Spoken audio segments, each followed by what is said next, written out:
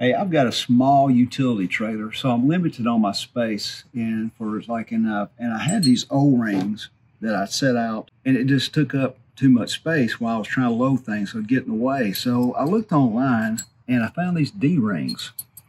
And right off the bat, I was like I was impressed. It's made out of iron and coated in stainless steel, so it won't rust. So very, very strong. Uh, like I said, easy to put in.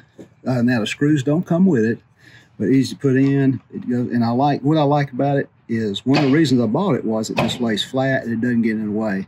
So I've got several around my trailer, and I've used them for a, a little while now. 24 in the pack, uh, plenty to use. Uh, like I said, it's it's been a great little product for me. Uh, load bearing is like 700 pounds, which is like, I think probably more than you need, especially for this size trailer. So uh, very impressed. Like I said, very a quality piece. And uh, I really recommend it.